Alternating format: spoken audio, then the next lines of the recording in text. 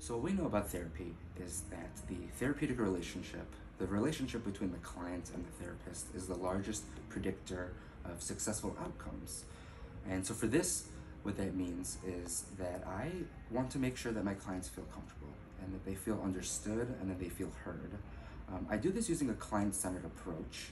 In addition, I my training is founded in cognitive behavioral therapies, which is the understanding that our behaviors are one building block to understanding of mental health.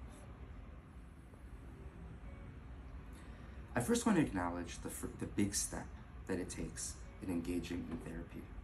I appreciate with my clients the opportunity to be a part of their personal growth, including their understanding, acceptance, and willingness to change. I also greatly value being a part of a client's journey in metacognition. That is, their ability to become aware and address challenging thought processes. At Light On Anxiety, I am able to work with clients on their process and organization of their thoughts, emotions, and behaviors holistically, while also being able to work with them on action oriented steps to address their fears and anxieties.